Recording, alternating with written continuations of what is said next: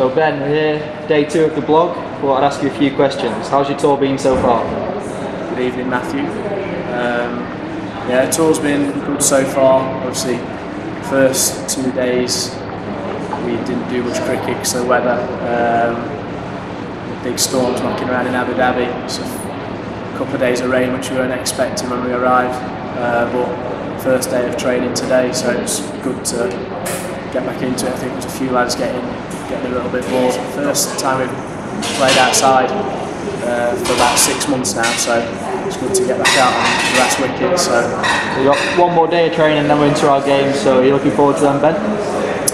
yeah, it should be good. Um, obviously, get get down to it with the um, with the competitive stuff. Missed out on a couple of games because of the weather, so I think that means we got four in a row. So I think the lads will be tired on the plane home on, on Wednesday, but that'll be good. Uh, stand us in good stead when we get back.